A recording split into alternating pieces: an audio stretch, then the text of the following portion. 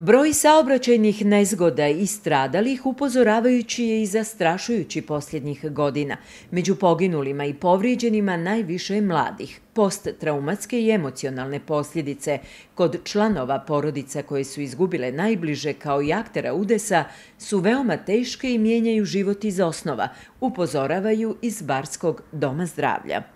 Ono što je jako bitno, treba da smo svi svjesni toga da saobraćajna nezgoda to nije samo tren to je prosto nečija sudbina i mi moramo e, biti svjesni da e, oni kad izađu iz bolnice i kad se osvijeste, tek onda nastaju problemi.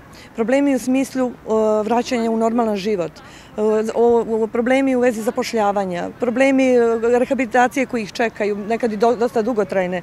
Isto tako i problemi prihvatanja sredine kao takvih.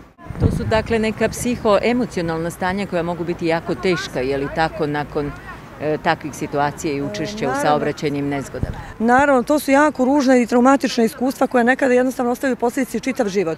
Mi kao Dom zdravlja e, pružamo, osim što daje, ovaj, izdajemo, vršimo preglede, zdravstvene vozača, izdajemo ljekarske preglede, mi ovaj, imamo centar za podršku u kojima pacijenti iz saobraćenih ugroženih porodica kao i njihove kao i njihove porodice e, mogu dobiti podršku u tom posttraumatskom periodu ovaj, kako odrasli, tako i djeca.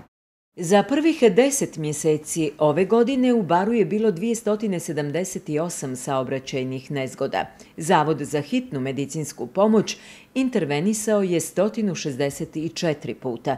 15 lica je zadobilo teške tjelesne povrede, a dvoje je poginulo. Onog trenutka kada sjednemo za volanom, E, moramo e, biti toliko odgovorni prema sebi i prema drugima, da ne koristimo mobilne telefone, da vežemo pojas, da koristimo, da, da isključivo vozimo brzinom koja je propisana zakonom.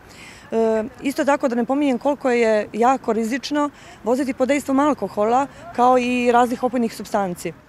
U aktivnosti Barskog doma zdravlja povodom obilježavanja Međunarodnog dana sjećanja na žrtve saobraćenih nezgoda učestvovali su volonteri savjetovališta za mlade ove zdravstvene ustanove.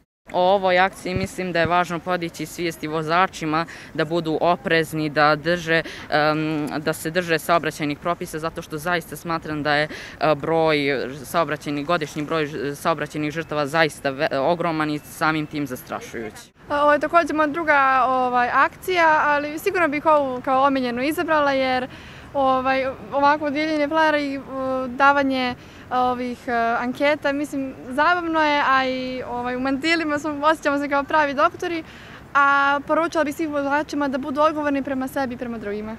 Poruka za vozače bi bila da budu oprezni i također i za pješake, da e, vode računa i da budu svjesni kakve posljedice sve i psihičke i fizičke saobraćaje nesreće ostavljaju. Građani Bare su veoma dobro prihvatili akciju, ocjenjujući je potrebnom i poučnom. Ova akcija se sigurno doprinijeti i dati neki svoj, makar mali doprinos da, da se smanje te saobraćaje nezgode i vidim na ovim flajerima da je to dosta lijepo opisano i koji su uzroci i, i ovaj koje su također i posljedice tih saobraćaja nezgoda. Jeste vi vozač? Da, da, ja vozim već dugo.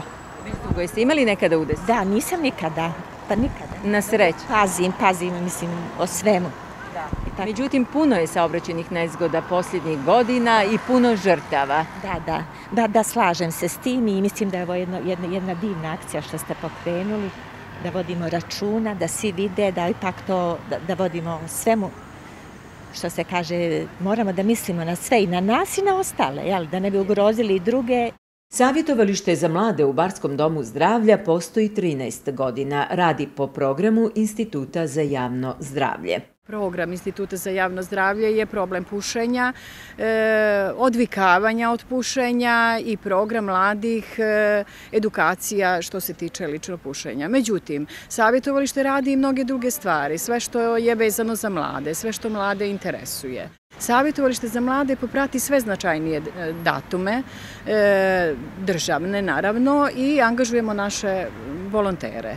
E, nešto što je novo u radu savjetovališta je što ćemo uskoro potpisati memorandum sa Skupštinom, opštinom i kancelarijom za mlade iz ovoga grada i onda ćemo zajedno raditi na edukaciji mladih, na edukaciji stanovništva, na sve teme koje ih budu interesovale. Svjetski dan sjećanja na žrtve saobraćenih nesreća ustanovila je 26. oktobra 2005. godine Generalna skupština Ujedinjenih nacija, a obilježava se u drugoj polovini novembra.